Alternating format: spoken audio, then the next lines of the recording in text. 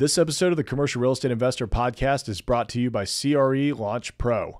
This online commercial real estate program is designed to take you from beginner to pro commercial real estate investor with access to all of my courses, our online community, and monthly group coaching calls. Learn how to confidently buy your first commercial property today at www.crelaunchpro.com. Well, we've got a little issue with the uh, camera. this episode of the Commercial Real Estate Investor. Oh, this is hilarious. This episode of the Commercial Real Estate Investor podcast is brought to you by CRE. I don't know what is going on right now. Sorry, everybody. Please bear with me. I'm gonna have to cut this. I can part see out you. I can see you. You in the can bottom see right me. corner. Yep. Let me see. This episode of the Commercial Real Estate Investor Podcast is brought to you by CRE Launch Pro. There we go. Oh my gosh. All right. Welcome back to the Commercial Real Estate Investor Podcast, live from the, um, well, I guess not necessarily live from the Cauble Group studios because we're all over the place, but uh, coming at you with some technical difficulties on a day where we're going to be talking about some parts of commercial real estate where you can actually have some real technical difficulties. We're talking about partnerships, how to structure these deals, how to negotiate equity, how to split up your roles. And uh, it, I could see how this could very easily become a part one and part two because there's so much that, that is involved here. Um, but I mean, let's be honest. Look, if you're whether you're just getting started in commercial real estate or you're doing your 20th deal, partnerships are a great way for you to grow and scale your business. They are also one of the quickest ways for you to lose a whole bunch of money, lose your reputation, and get into a lot of legal trouble. So it is very important that you do it correctly. So, starting off, uh, Logan, I'm going to pass it over to you, man. I mean, wh- why are partnerships in commercial real estate so important? Yeah, I mean, I think they're not only beneficial, they're often the bedrock of of substantial portfolio growth. I mean, especially for new investors. I mean, it can be a collaborative approach that can lock, unlock opportunities and scale operations that solo ventures can't. You know, when you're pooling resources, knowledge, and networks in partnership, it can kind of create a synergy that amplifies the strengths of each member. You know, which which transforms individual capabilities into collective power. However, However, there there uh, we have to remind ourselves that the only thing in life that is constant is change. And I have been a part of, I am a part of, I have seen very many different outcomes for business partnerships. I mean, there are so many variables, right? And when you're thinking about real estate investing, we try to figure out what are the variables and, and the, especially the variables that, you know, we can control. Well, the one thing that we can't necessarily control and their decisions are people. And so um, things change in people's lives. Their focus change, their uh, goals change, their personal circumstances change, their financial circumstances change. Health, they get hit by buses, unfortunately. I mean, all the different things, right? And I say that a little tongue in cheek, but literally we, we do have those conversations about, you know, what about the, the, you know, hit by the bus kind of syndrome and or situation. And, you know, I think that uh, you know there's there's a there's a way to do this in in a in a capacity that makes a lot of sense. However, you know, and we'll we'll get into this, and and I've spoken a lot about this uh, this framework that I use when thinking about this, but you know, making sure that um, you almost have the same type of of values and and goals um, as the the partners that you're bringing in and or doing business with is extremely important. But and, and I will just say this: the the but being, you know, you don't always need partners. Okay, you don't always need partners, and uh, some of the most successful, actually, three of the most successful investors that I know have never taken partners. Are they the largest investors? No. Are they um, the biggest scale of portfolio? No. But they are the most successful um, in that in that regard. So I'll leave it at that and uh, let the other guys, you know, jump in. But um, I think it's an extremely important topic that we are covering today, and I can speak at lengths all day about this because I've lived it firsthand.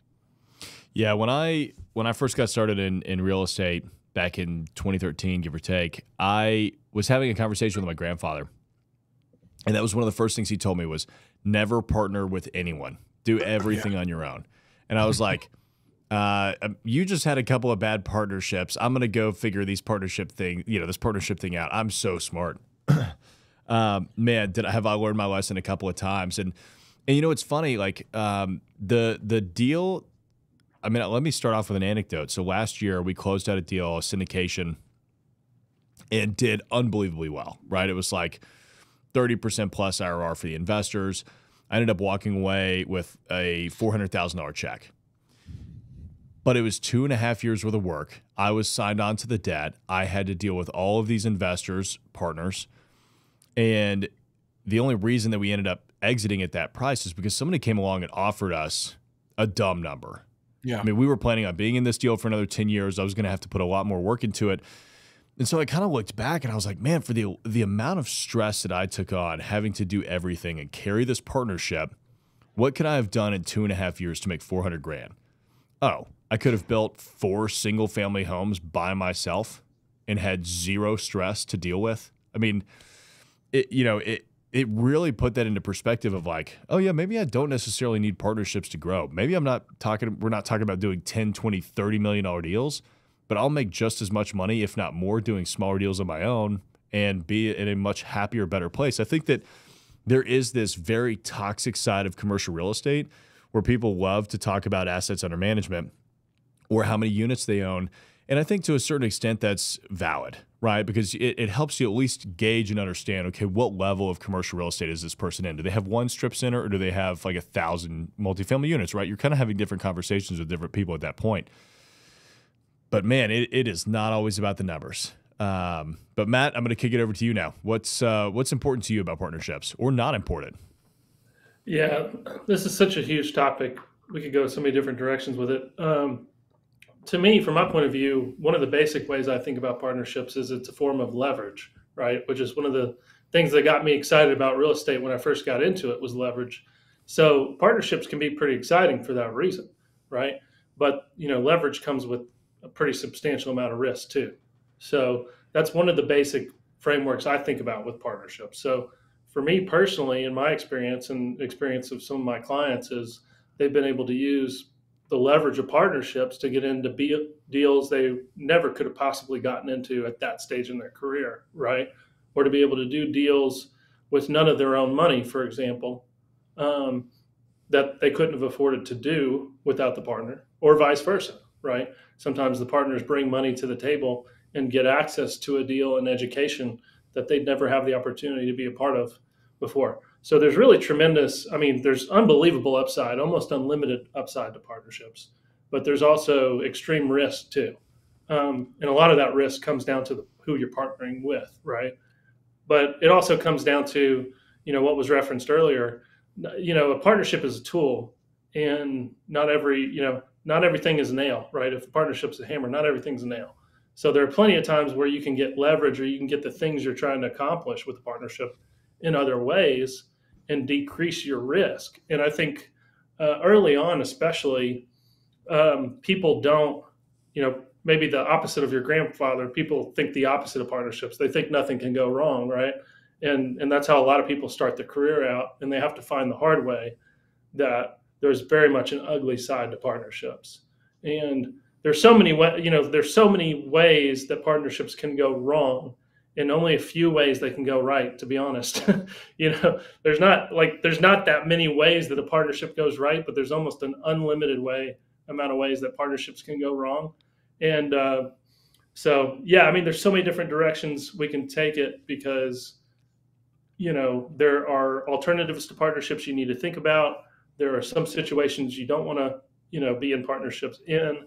There are people you don't want to partner with and do want to partner with. There are deals you don't want to partner on and do want to partner on. You know, so there's a lot to unpack. And uh, at the end of the day, nothing nothing overcomes a bad per- person as a partner, right? So that's probably the number one thing I see over and over again is your work. If you're working with really high quality character people as a partner, then there's a there's a lot of um, mitigation there. If you're working with a partner who's a bad actor, you're probably in trouble almost no matter what you do. Yeah, I mean that's the worst. It, like having a bad partner that is actually a bad actor it's like uh, I mean, it's like having a, a Russian spy in your government, right? Like they they know all of the insider information and they can do things to you that nobody else ever could. Um, and I've had that happen to me before. I mean, it's look, I, have had you know bad partnerships where the partner was actively sabotaging the deal so that they could benefit, uh, which is kind of absolutely wild. I've had bad partnerships where the partners were passively sabotaging the deal.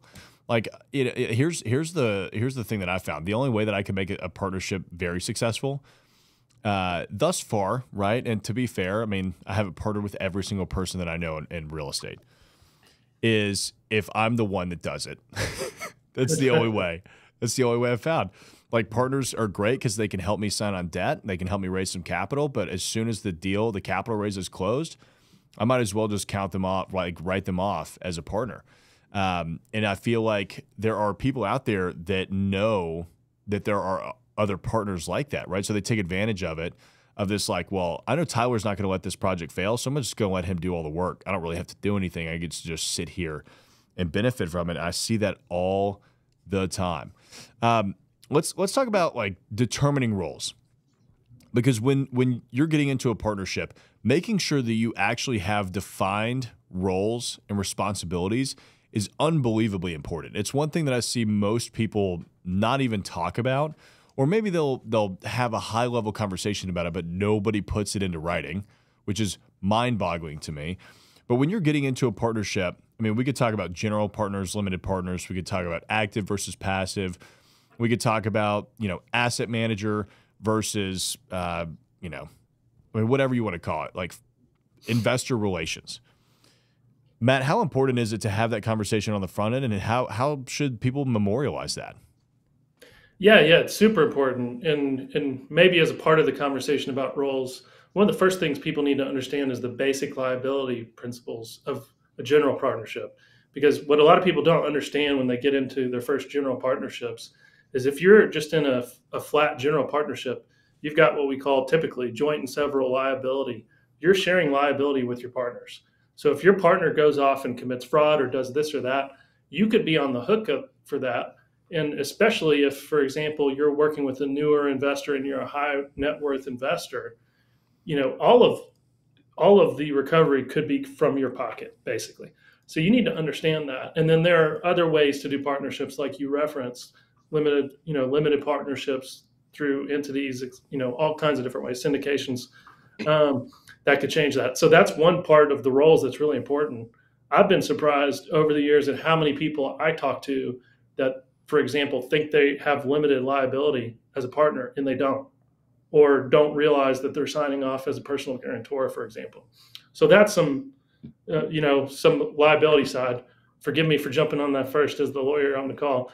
Um, but then just the general it's, roles too. It's your role and your responsibility. Yeah.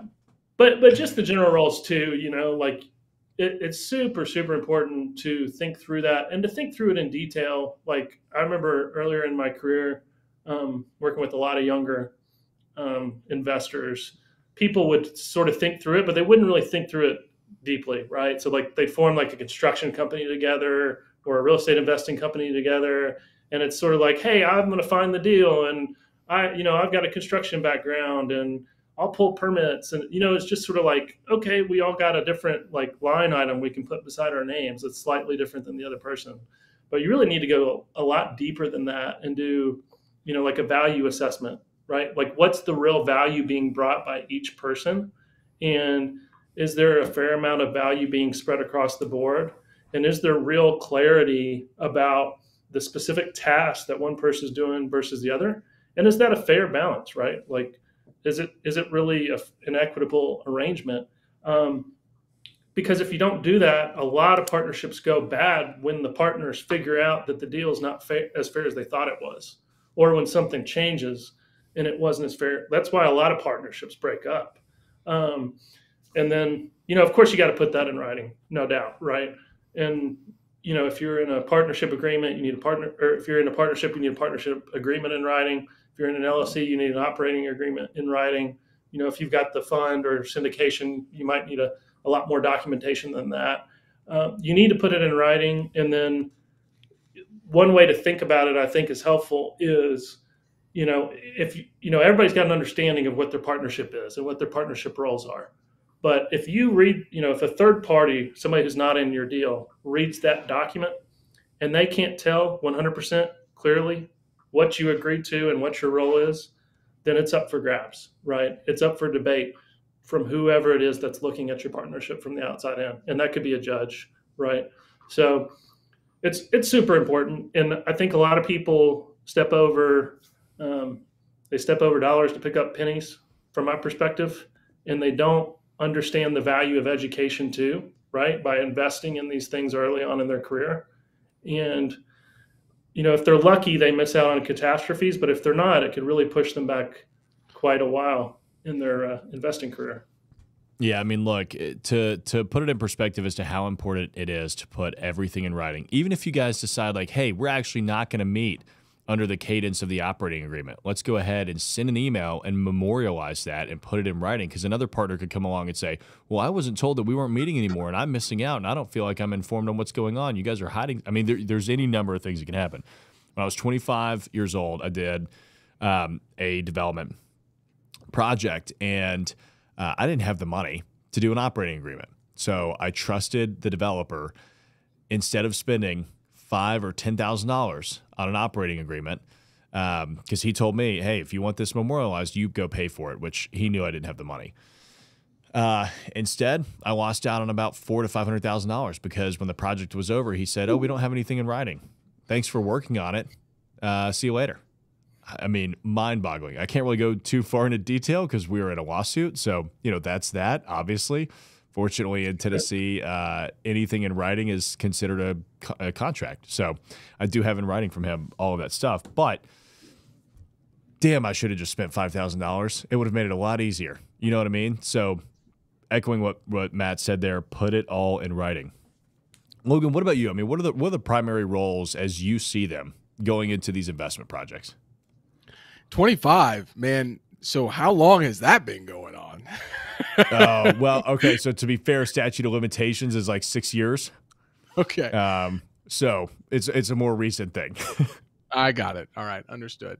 You know what I think we're talking about here is how do we make asymmetrical bets? Meaning, how do I make sure that the upside is unlimited and the downside is mitigated and or controlled? And that's really difficult to do. Uh, I'll tell you, even having operating agreements in place you know, you still, if something happens, you still have to take that, get counsel, and either arbitrate that, mediate that, or take it to court. And so that we're talking thousands of dollars, we're talking time, we're talking mental trash and headspace, all of those different things. So the best component to that and strategy is obviously to try to avoid that if you're in business long enough, I think that you will not avoid that. Um, that's just we live in a litigious society, and um, you know we we can be sued and or taken to court for anything. So um, I think that is a part of business. Um, you know, if you're trying to do any business at at any level and or scale. However, I think that um, just like a building needs a strong foundation, I think a real estate partnership requires a strong foundation. And one of the things that I have always been pretty matter of fact about is control provisions. And any partners that I am working on, if I'm doing a deal, I have to have the control because, like Tyler said, I have a hard time not being able to go affect positive change in any regard. And handing that over is very difficult. If we are signing on recourse debt and um, we are putting a partnership together.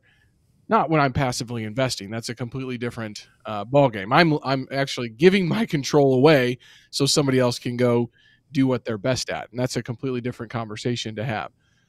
Um, but I do think that there's a lot of pressure from people um, that, that that they get put on themselves to get that first deal, you know. And and I'll just throw Grant Cardone here, you know, into the mix. Old GC, I've been reading his books for 15 years. You know, 10x Rule is still probably one of my favorite books, and I'm I listen to it every single year. But that guy has investors that are non-accredited, uh, sending him one to five thousand dollars via text messages. Okay, um, that's pretty crazy to think about, right? But that's the world um, that we live in.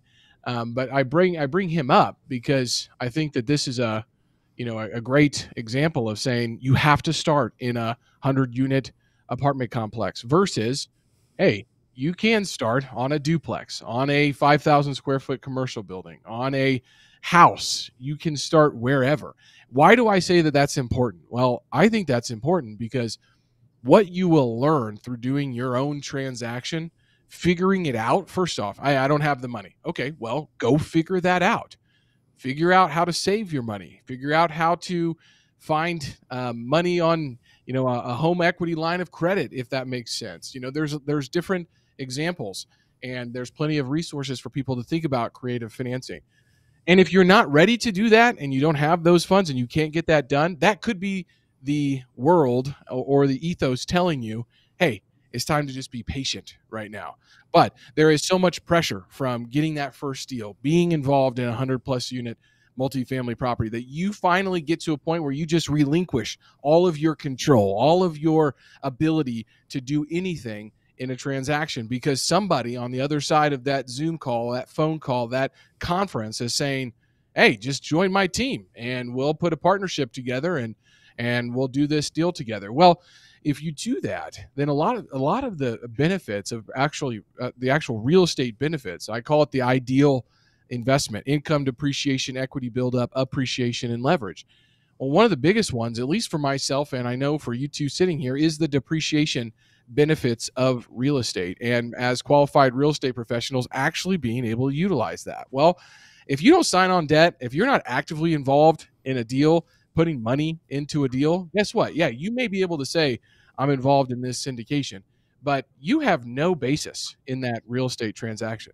If you don't know what that means, go read some real estate books and or structure. But simply put, is you don't have any depreciation opportunities really in that in that real estate. Um, and so there's just a lot of pressure, I think, for people to get going and, and making that first jump into a, a large real estate transaction, which then actually you know impedes their ability to actually get to the goal that they were trying to get to by doing a bigger deal. And so i think that these things need to be thought through much more thorough like matt was saying and and, and understood from that level. Because instead of doing that 100 unit deal maybe taking a couple years putting some cash away and buying a really good fourplex with a conventional loan that might be the great a great opportunity in a great area. And then three years later 1031 exchanging that. And by the time we're sitting here five to 10 years later, you might have 25 or 50 units yourself that you can then sell. And if you want to get out of the business, go invest into a syndication or trade that up to a larger syndication yourself. I got off a phone call yesterday with a guy. He's like,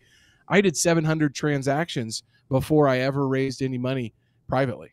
And I treat every single deal like it's my own money because I've done it that way. And um, I think there's a lot of merit to that. However, what we hear and what we see on a lot of shows and mentorship groups and things like that is not not that that part. But you know i'll just i'm not going to name anybody but these mentorship groups they are funnels okay? They all go to russell brunson's conference. They all are master ClickFunnels and and they they are in the the 10 million dollar club or the the gold club whatever it is. They're going to post it on their social media and you're going to say what is that? And now that you did now you're going to be retargeted by Russell Brunson for 25 years because now that they've got affiliate links they've got affiliate links set up for if you click that then yeah you get 25 cents on every single click if you you know promote this to your network.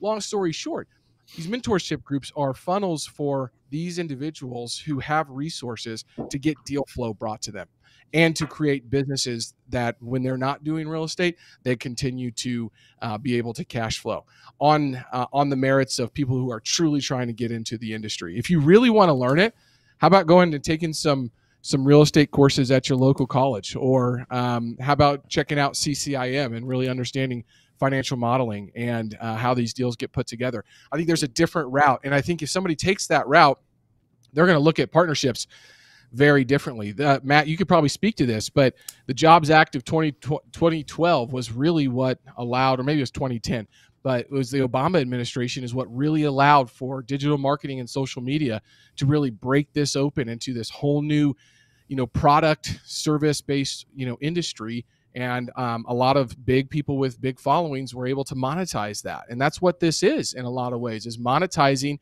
you finding a deal, bringing it to them, them taking the lion's share of it, you saying, "Yep, I'm in a deal that has 250 units," and is that really truly getting you closer to your goal? Um, I don't know, and I do know that uh, many of those opportunities and, and deals are not. Uh, you know, doing all that great because they were monetized to get deals done. So I think that's extremely important to, to be thinking about. Yeah, yeah. I, would want to tack on just real quick to that. You know, I was having a conversation with somebody not that long ago, and they were thinking about getting getting into a partnership, and we got into a pretty deep discussion about it. And I, I, I said, look, man, you can't delegate overcoming your fears, right? You can't delegate um, getting minimum competence in the area you're trying to go into, right? And I think that's what a lot of, you know, that's sort of what you're speaking about. I think a lot of people use um, partnerships as if it's a shortcut, and it's not a shortcut. In fact, it's like we said, it's leverage, right? So if you're playing with leverage, you actually need more sophistication. You really need to know what you're doing if you're playing with leverage. So I think that's the big mistake people make is they, you know, they don't want to overcome some fears. They don't want to make the call. They don't want to make the offer, or they don't want to have the hard conversation with the contractor, whatever it is they're afraid of doing. And maybe they don't want to read the book. They don't want to get the legitimate education. They don't want to get the minimum competence. And that's not everybody, but it's just a mistake that I see a lot. And I think that's a really um, bad idea as far as a way to use partnerships. Yeah, I mean, you know, kind of going back to what you were saying earlier, Logan, with the, you know, starting off at 100 units, like that's such a crazy reach goal, but it's it's been so normalized by mm-hmm. real estate syndicators and the way that they talk about things. I mean, let's be honest, going from doing zero real estate to buying a 100 unit apartment complex, I mean, that's like that's like graduating from seventh grade and, and applying to Harvard and thinking that you're going to get in, right? Like, yeah. is there one weird kid that's going to be able to do that? Sure. But the overwhelming majority of people are not going to be able to accomplish that. It's just not how it works. I mean, my first project, $575,000. It was a little 6,000 square foot, two tenant building, totally vacant, like 20 minutes outside of Nashville in a, you know, not so great area. And it was a great deal. You know why? Because I had to call two guys and they both said, yeah, we'll give you $50,000 each. I rolled my commission in. We held it for two years. I sold it to one of the tenants I ended up leasing it to. It was an awesome deal. I'm not I didn't retire off that one thing, but I also I proved to myself one, damn, it's a lot easier to do this than I thought it was. right? Because you like build it up so much in your head. I mean, it, this was five years into my brokerage career. I had done millions and millions of dollars of transactions for other people. I had been through that process so many times, but there's something about stepping on the other side where you're like, oh man, I can't sleep. like there's, I gotta get this through my head. This is, this is crazy.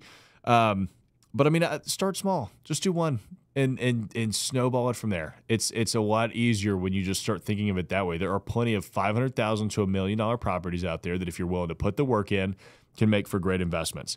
Now, uh, moving us into talking about equity splits, I'm going to throw out a question to you guys that I get asked all the time, and and you know I'm sure you guys get get it too, right? It's hey Tyler, I found a really good deal and I'm talking to this guy that I think is going to put up all of the money.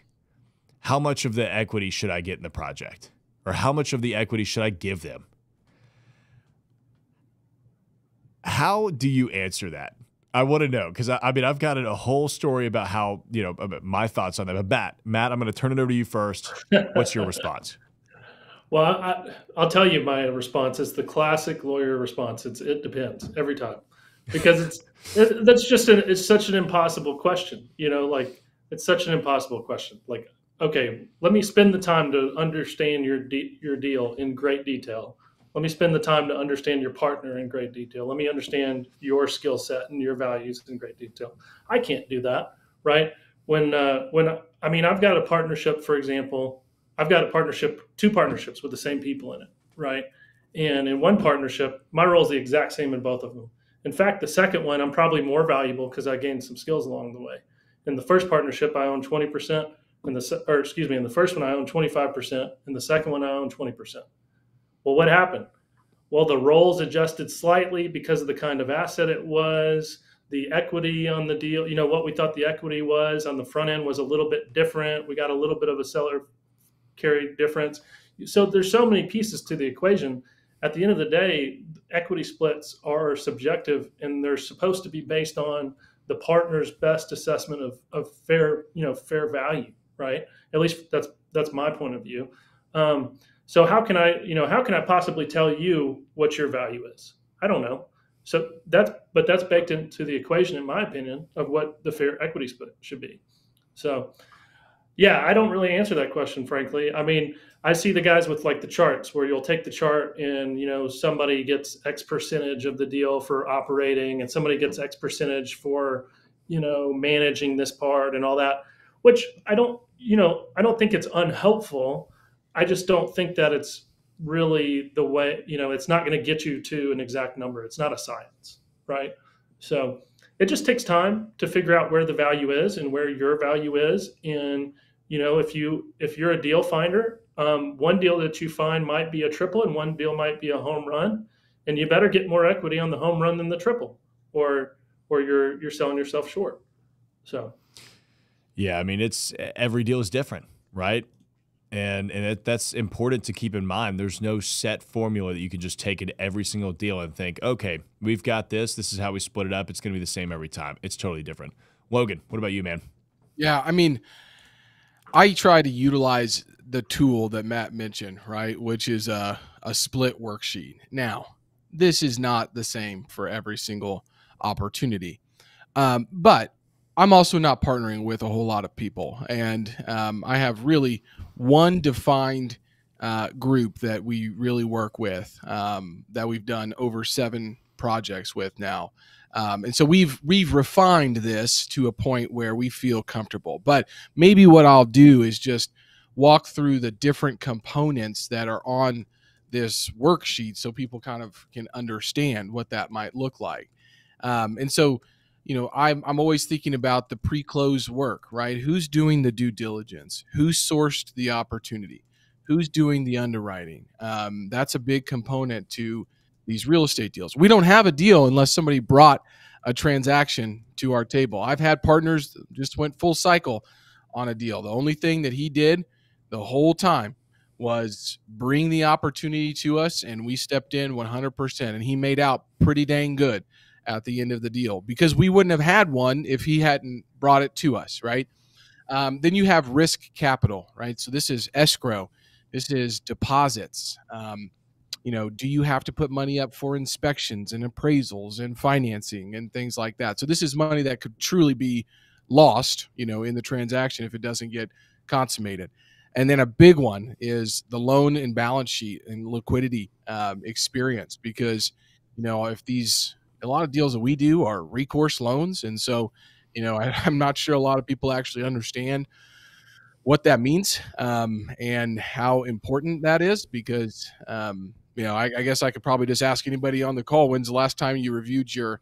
your loan documents and the different covenants. Um, that's a pretty serious thing to be thinking about, especially at scale um, you know who's calculating or, or, have you calculated how much recourse you actually have out there yeah you got your fancy you know personal financial sheet but you know what it really doesn't show is that you've got seven different loans that uh, are at 85% ltv that aren't really cash flowing and you have full recourse on all of those that partner may look good up until the point you know what type of loans that they have actually you know signed on and if they do go south they have to you know, come up with the money and or provide the cash, you know, for that.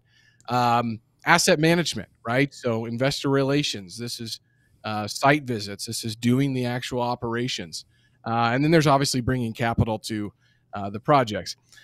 What I will say about this, and Matt, I don't know if you're a securities attorney at all. I am not, and I will preface that with, with what I'm about to say. I'm not a securities attorney, but I uh, frankly think that uh, there's probably a lot of of deals being done and compensation being shared among partners that um, are acting as broker dealers in a lot of scenarios that truly aren't you know active participants in those in those deals and that is a that is not just a light gray area that is a dark gray area that uh, only really gets brought up is when something's going wrong right and uh, and so yeah if you've got the midas touch and everything's turning gold maybe you're okay but uh, most of us do not. Um, and so, I again, that's the, the the categories. But look, it's a tool to get a conversation. I think going in the in the partnership realm because you know there's going to be concessions on both parties and you have to be able to come to some sort of agreement and w- without mm-hmm. having a tool to be able to talk through it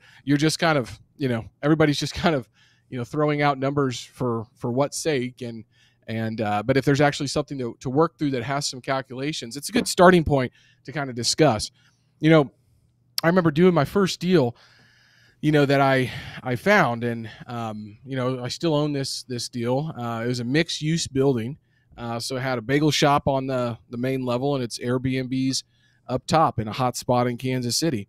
And I remember finishing uh, Joe Fairless's apartment syndication book. So this was probably six six years ago, uh, five six years ago, and reading straight out of this book to this investor that uh, I was pitching the deal to, and saying, well, you know, I know that you're not here local and Airbnbs, you know, have a little bit more operational component to them. Uh, what if I was just boots on the ground here doing the asset management, working with the property management company, uh, renewing leases with the, the bagel shop? By the way, I had never done a commercial deal. And so I was like, well, I guess I'll have to figure out commercial leases at that time.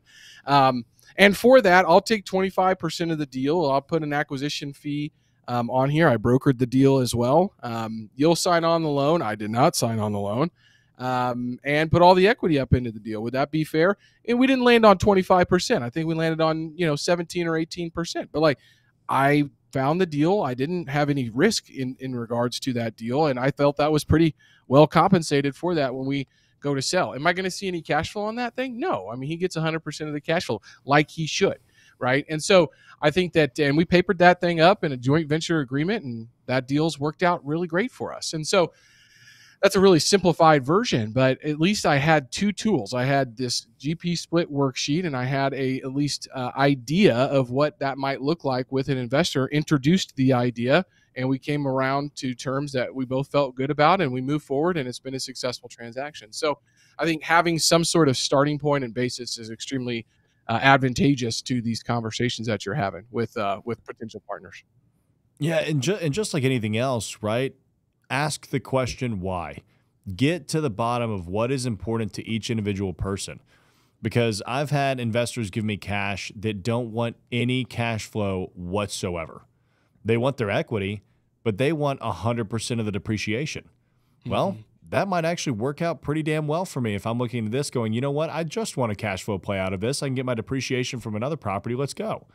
Right. And so, I mean, there's, there's so many different ways to structure it. If you just ask why, what is important to them, what matters to you, and and figure those things out. I mean, there's gosh, there's so many different ways to structure these deals. I mean, you know, typically whenever we're looking at our general partnerships, it's like, oh, 25% to whoever brings the deal to the table, 25% for, you know, raising the capital, 25 per, you know, whatever. I mean, you can make things up at the end of the day. That's kind of all it is. It's whatever you and your partners are going to agree to. I hear way too often on the first deal, like, I don't have any money. I found a great deal. And I know it's a great deal because I've never done real estate before. So it's definitely a really good deal. I want 50% of this deal. And I want my investor to put up 100% of the cash and I want them to sign on the loan. And I'm like, look, the first development project that I ever did, I had zero experience in development, other than, I mean, I had some experience, but it wasn't like I had ever done a project before. I didn't have any cash, and I definitely it wouldn't have mattered if I signed on the loan. Like it wouldn't have done. It probably would have hurt the case. Uh, and I got ten percent of the deal. But I mean, and I would do that deal today. Ten percent of this development project with no not having to put any money in, not having to sign on the note. All I had to do was do the sweat equity and actually run the project, pull everything together. Absolutely. I would do that all day. So don't think that 10% is too low. One thing that I think people often forget to talk about or at least consider is your risk adjusted returns. Yeah, 50% of a project sounds great until you start to realize, oh, if this project goes wrong and I have to put up my 50% of the cash for construction overruns or my 50% of the cash to cover the mortgage, you start to realize, like, oh, yeah, maybe 50% actually isn't that great. And I would rather have partners that can help me do this.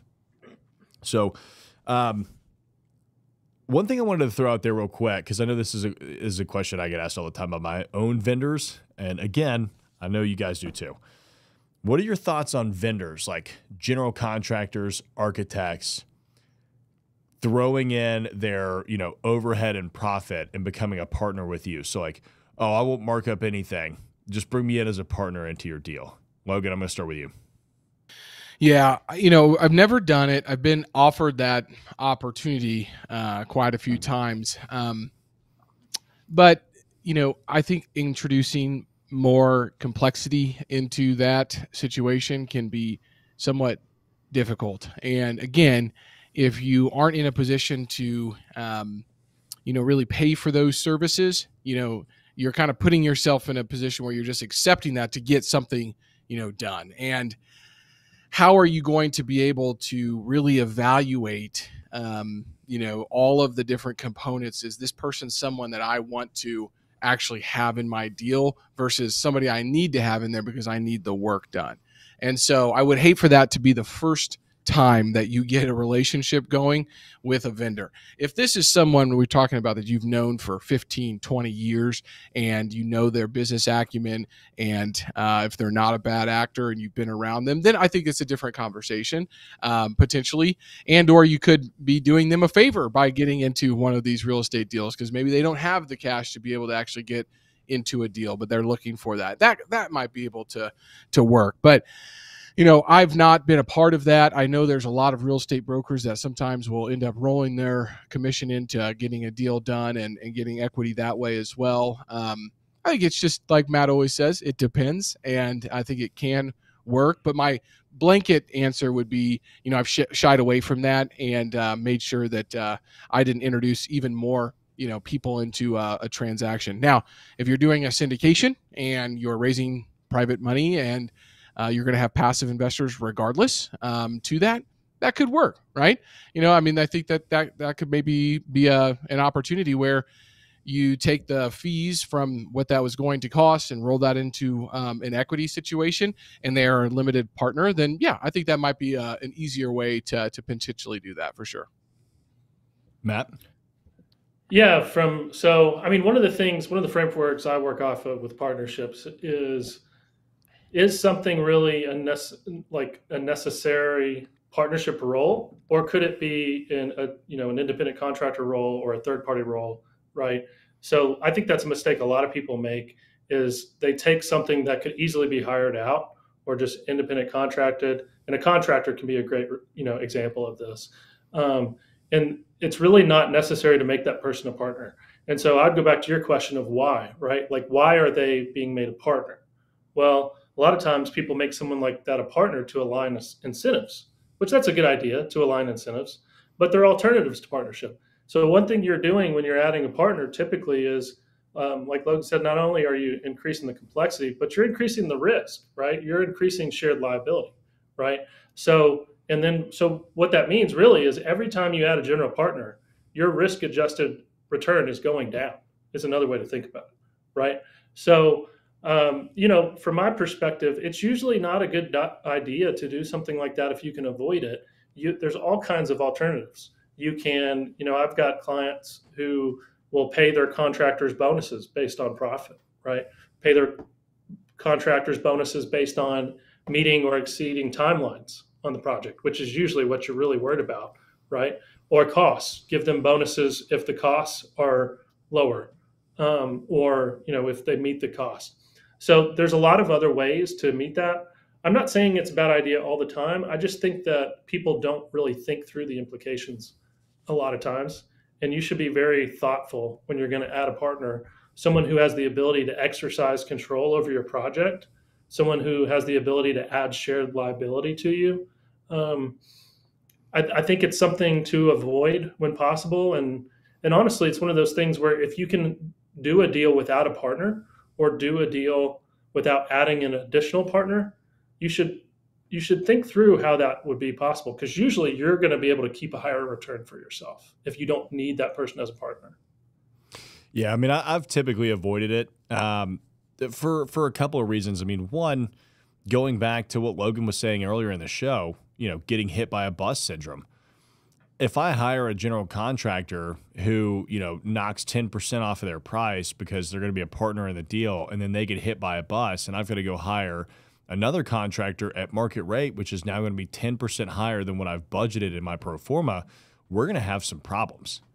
So not only am I now having to pay more for construction, the the heirs of my guy that just got hit by a bus still get to profit from this deal, right? So it, it doesn't make any sense. Um, it, it, I I think that as long as they're signing on debt, they're taking equal amounts of, of roles and responsibilities under the general partnership as as any other partner would. Why not? Um, but you got to be very careful with it. The only reason that I would ever consider anybody like that is if I still have full override voting abilities. I will fire your ass off of this job if you don't do it right because it happens all the time. I mean, I've had, I've done it one time where I've had a vendor involved in one of my projects. You would think that he would have cared about cost overruns since he had to put up, you know, 12 or 15% of the capital needed for any time we had a capital call. Didn't care. I mean, he just kept running up the bill on the construction side of things, and we kept having to put money back into it, and we were trapped. Um, so it's it's just something that you want to be careful of. Uh, Doster Group is saying 10% is terrific. Completely agree. I mean, look, I would take 10% risk free in any project all the time.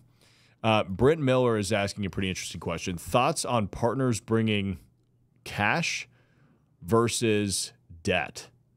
So, have you ever gone out and had your partners bring, like instead of selling any equity, you're just bringing, uh, you know, kind of like mez debt in, right? Um, to to fund a project. I mean, I've actually looked at doing this a couple of times, right? Go out and raise 100% debt from my investors at you know 10% interest, but the interest accrues and, until the project is done or until I refinance them out. I mean, there's some obvious pros and cons to this. I think that there are some great potential upsides if you think the equity is going to be worth it, but terrible potential downsides if you don't think it's going to start covering the debt. Logan, I'm going to lob it over to you. What are your thoughts on that structure? You know, I mean, the only time I have done this, and this might be a little bit of a different scenario, but anybody tried to raise capital during Christmas time? Oh, good luck. it's really difficult. And so if your closing is in December, your capital better be raised probably before Thanksgiving. So uh, it can be a really difficult situation. So we kind of got down to the wire on a large industrial building, and I was about five hundred thousand dollars short. Um, I put up some of the money, but then I called one of my buddies. I was like, "Hey, man, well, I'm kind of in a pickle here. I need to get this done." Um, and um, he was willing to um, bring in debt to close the transaction and we continued to raise in January, and then two weeks later we we had the the equity raised out. So for you know really 21 days, you know he had uh, about five hundred thousand dollars into the deal um, that we had to pay interest on and a fee to get that deal completed. Um, and it was well worth it. it. You know, locking in debt at the time that we did at five percent and getting everything done was was well worth it. It's been a great opportunity. Um, and so I've used it in that way um, on transactions very sparingly. Um, that's the only time I've really needed to do that. But in regards to raising 100% of, of debt and, and doing that, um, yeah, yeah, we, we closed the transaction um, last December. And, you know, uh, again, is in December. Banks basically shut down in December as well. And um, you know, frankly, that wasn't a very good lending time. Maybe still not, but really bad in December of last year, if anybody remembers. Um, it wasn't much fun. So we raised 100%. Well, we had we had equity, uh, but then we went out and raised the rest of the the capital needed um, and put it on as debt. And we still haven't refinanced that. Like we're going to start refinancing process here soon. What that allowed me to do was I was able to come in close on the transaction and save. Well, this depends on if in Congress it gets passed, but at the time, you know, the bonus depreciation was what was it last year, guys? Uh, eighty percent. Eighty. Right. Eighty percent, or it was hundred percent last year and eighty percent this year. I always forget. Oh yeah. I don't know. I, I everybody's right. been talking about it for so long. I yeah, think it was 100% last year and it's 80% now.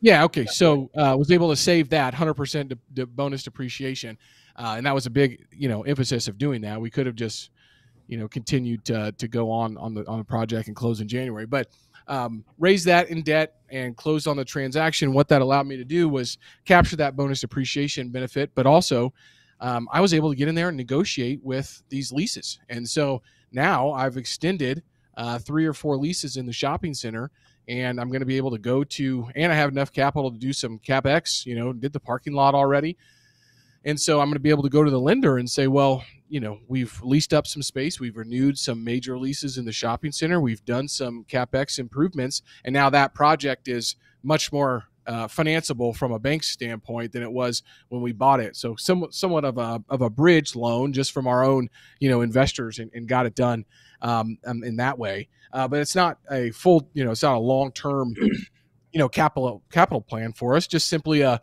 um, you know a, a short term situation to get a good a good loan on it here later this year. Yeah, I, I recently looked at a a mobile home park down in uh, Mississippi, I think, where we we were actually entertaining it. Um, although it's not necessarily like right in my wheelhouse. I was like, yeah, this seems like a pretty good cash flowing opportunity. And it was only like 450 grand or 500 grand. So I just sent an email out to my investor list. I was like, hey, I'll give you guys 10% interest, um, you know, debt position, first position on the property, um, you know, personally guaranteed if anybody wants it. And man, I mean, I raised like one and a half million dollars in eight hours. Um, ended up not going through with that project, uh, basically because it, the mobile home parks are really, really hit or miss, and most of them are miss. Um, so uh, I decided it was not up to our standards, but um, it did show me that a lot of our investors are actually interested in that type of structure, which I hadn't tested out before. Um, and I like yeah. that for a couple of reasons. I mean, one, if I don't have to have any other partners, any other seats at the table, damn, does that make my life so much easier. I, I prefer that. I mean, look, I've got some great friends that would be great partners, but at the same time, it's just so much easier when you're the only one that has to make the decision. First of all, I'm terrible at communicating. That cuts out having to send emails to people or text messages or phone calls. Like I get to just you know talk up inside my head and it's done, right? Um, but you know, it, it, also you get to keep 100% of the upside. So, Matt, what are your thoughts though? No, I mean I love it. I mean the other thing I do, I mean, I, I say I love it. I love replacing partnerships with debt, right? So especially for really good deals. If I find an amazing deal, like a really good deal, my objective is to find a way to keep all of it because it, if I really believe in it that much. So a lot of times I'll do that via seller financing, right? We bought two buildings that probably would have normally been thought of from partnership raising capital perspective by most investors, but we kept it all ourselves by leveraging it with increased seller financing. So what that allowed me to do is to take the project and keep all of it. When under you know this model, I would have probably had to give 25 to 50 percent of away based on the numbers. So you know, but that's a double-edged sword, right? Because you're taking on all the risk for yourself. And uh, but with a great deal, it can be awesome to replace a partnership with uh, with debt, in my opinion. Yeah, I completely agree. Well, it looks like, uh, I mean, we're gonna have to make this a part one and part two because I'm looking at our next, you know, couple of talking points. I'm like, there's not a chance we're gonna cover these in seven minutes. So yeah, Doster's like Tyler talks inside his head. Yes, yeah, I do. I much prefer talking inside my head than talking outside of my head, which is hilarious because I have this podcast. But I much prefer silence. Um, yeah, so let's uh, let's pick this up in the next episode. We'll make it a part two. We'll dive into um, aligning your goals, doing your due diligence on partners, and common pitfalls. I mean that that episode might actually be more important than this one because doing your due diligence on partners had to have my conver- a, a conversation with somebody about this today. They came to me and they were like, hey, uh, you know, something weird is going on. This guy said that his bank account's frozen, but he was supposed to wire $5.6 million today. And I was like, who froze his bank? They're like, oh, the bank did. I was like, that doesn't happen. Banks don't just freeze bank accounts. Like it's either the FBI, the IRS, or something bigger.